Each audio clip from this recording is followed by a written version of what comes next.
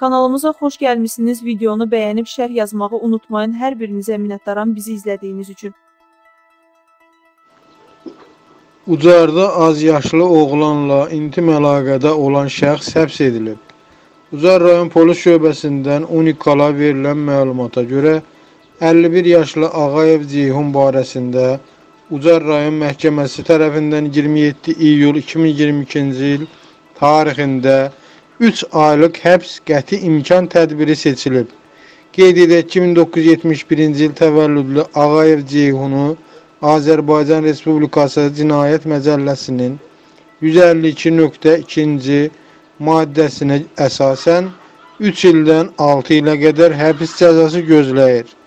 İstintaq işləri yekunlaşana qədər o, Şəki şəhərində yerləşən həbsxanada qalacaq.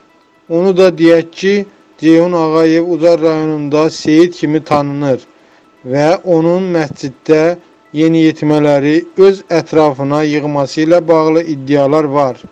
Bununla bağlı Ucar məscidinin axundu Rəhimov Elnur açıqlamasında bildirib ki, söz gedən şəxs məscidə yalnız namaz qılmaq məqsədi ilə gəlib.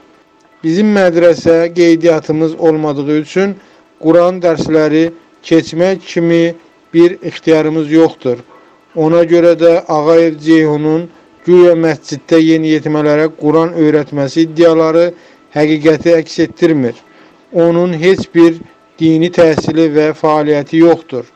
Bizdə iki qurumun Daxili İşlər Nazirliyi və dini qurumlarla iş üzrə Dövlət Komitəsinin kameraları var.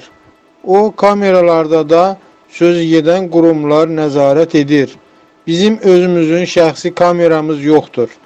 İndi bu məsələdə məscidin adı hallanır, lakin o son zamanlar məscidə nadir hallarda gəlirdi.